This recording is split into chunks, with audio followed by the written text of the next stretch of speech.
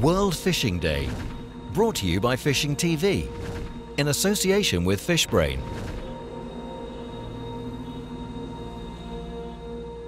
In a moment, we're going to be talking to our studio guests about the plight of salmon. But first of all, let us watch a short film to get up to speed on this important subject. In the North Atlantic and the great rivers that pour into it, there is a legendary fish whose future is now on the brink, the Atlantic salmon. It travels thousands of miles from river to sea facing great risks and then returning back again. There's something very special about the salmon. It's homing to its, its place of its birth. Once salmon leave the streams of their birth, they live a phantom, unknown life at sea. Magically, they reappear some years later, called back to the very river where they were born. Whole communities once flourished on this bounty from the sea, but now something mysterious and deadly is happening to them. We know that we send out a lot of smolts to sea each year and they're just not coming back. This is my way of life, it's my family's way of life, and it's part of the fabric of Scotland. And, you know, we want it to continue for many generations to come. Somewhere on the salmon's epic journey, these remarkable fish are now dying in huge numbers. There's a mystery of smolts and why they're not coming back, and it's very important to understand where this mortality is occurring. In the last 30 years, returning populations of wild Atlantic salmon have dropped by 70%. To save these salmon, first we must find out what is happening to them. For some, the problem is clear. Principally, the problem is that we have been killing too many fish for too long governments and scientists don't accept this, they don't recognize it. Others believe there's more to understand. The ocean's really a big unknown for salmon. We have these big picture ideas of what goes on, but we really don't know any of the details. I just implore anyone that can influence what's going on at sea to do so. Pick up that ball and run with it. With livelihoods at stake and a natural wonder in danger of vanishing, now scientific detectives race to solve the mystery. And for the first time ever, an international team heads out into the North Atlantic to find why the wild Atlantic salmon is lost at sea.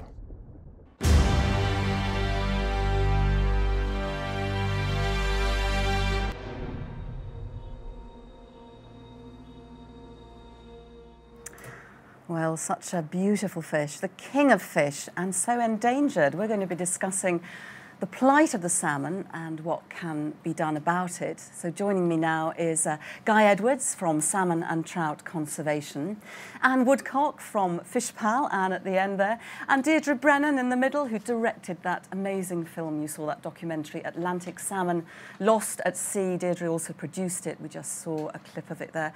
Deirdre, let's start with you. I, I have watched the film. It, it's it's a masterpiece. It's but it's a worrying masterpiece. Mm -hmm. What drove you to actually make it? I know you were eight years in the making. Um, well, I've been passionate about Atlantic salmon for a long time, and I my grandparents had a farm in Ireland, and at the right on the mouth of the Shannon River, and we'd see the salmon coming in and the fishermen. So I was well aware of the long journey that they took. Um, but what drove me to make this film was uh, Dr. Ken Whelan came and met me in New York um, and asked me, told me about this amazing project. He had made films with Ireland's Eamon de Buitléar previously, and Eamon asked me to work on this with him. So Ken told me about this incredible investigation called SALSEA, Salmon at Sea, that was being launched to go out in the North Atlantic to actually find what was going on. So basically, we, we have an idea of what's happening in our rivers, but we didn't know what was happening out in the feeding grounds where the salmon go to feed. Right. So these expeditions followed the salmon from, the, um, from their feeding grounds up to the, or from their rivers up to the uh, Arctic, to their feeding grounds. And along the way, after the three years, the overwhelming evidence seem to be that it's changing ocean conditions. There's a lot of local factors that are affecting salmon, like predators and salmon farms and so forth. But the overall thing seemed to be, from their evidence, was changing ocean conditions. The ocean's getting warmer. Food salmon eat. The plankton is moving farther north. And so salmon from the southernmost rivers have to travel that much farther to find the food, and they're just, they found a lot of them were starving, and then they're more susceptible to predators as well. And salmon starving, that's a terrible thought, isn't it? Uh, Guy, what's your take on why the salmon is so endangered? I mean, from our, my perspective, uh, being a very keen salmon angler and sea trout fisherman as well, um, it really we need to look at things that we can control. We can control the river environment a lot easier. Um, you know, we, we have situations with pollution, over sedimentation, obstructions to their migration. These are critical, and you know, particularly if you look at things like uh, predation, if you've got obstructions to smolts trying to run down river, they'll naturally school up um, if they're stuck behind something they can't get past, it makes them very easy to fall prey to uh, to predators there. But the bigger issues that we've so, got so we're is, talking is that fish ladders and things like yeah, that. Yeah, absolutely. Um, it's it's making sure that when the smolt run, I mean, from your film we saw when they get going, they really want to run. They don't want to stop at all. So we want to make sure that they can get down the river very quickly, out of the estuary, and start beginning their feeding journey. And that's equally important for fish running back up.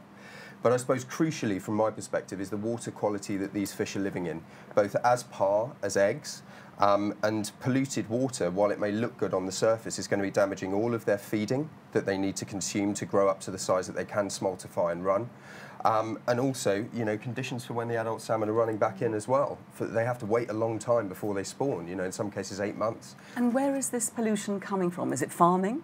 It's look, it's very difficult. There's no silver bullet with, with salmon conservation, and, and this is where it's important to look at scientific evidence, which is what's so important for our, the organisation I work for. We have to do studies. We have to look at what the actual facts are, because then we campaign at government level to get legislation changed.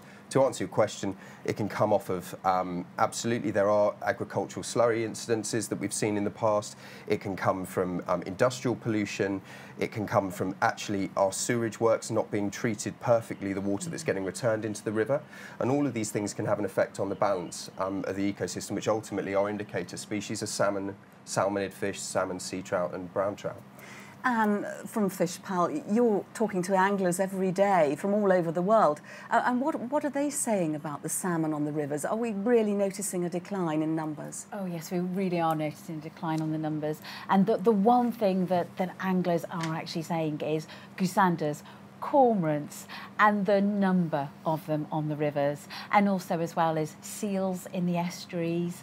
Um, and anglers want answers of why these birds that is, as Deirdre has already said is that they're having to move further up to their feeding grounds.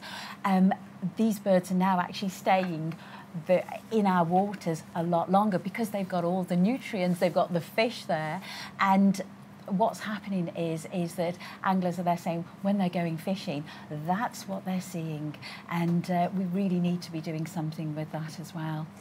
We've had some questions in, we've had loads of questions in actually, but this is a very hot topic. You're very, very worried about the poor old salmon. And, and Anne, let's stay with you. Here's a question What role can anglers play? I mean, we're 100% catch and release. Will that do anything, or is that just a drop in the ocean? Well, they, they are actually looking at a, a 100% going towards that on in, in England and Wales um, because of obviously the nets. Um, and, uh, and last year, the nets actually uh, were actually had an increase in the number, these are the offshore nets, of actually not only salmon but also sea trout. Um, anglers are actually doing a great job out there um, and uh, we, we really should be celebrating what anglers are doing because last year in the England there was um, just over 8,000 salmon uh, caught by anglers and 79% of those fish were actually returned. So anglers are actually doing a great job but catch and release, more and more anglers are actually um, are releasing their fish um, because they understand the importance of that fish going on further up, going up to the river to actually spawn.